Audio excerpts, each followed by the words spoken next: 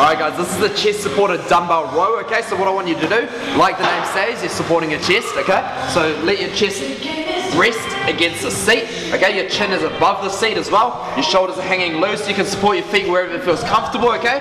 And what you're gonna do is retract through your scapula, chest is up, and you're just rowing to your hip and control. And rowing to your hip and control. Always keeping that, um, that scapula retracted as much as possible through this entire movement and ensuring you're not hunching through the movement either. That guys is a dumbbell chest supported row.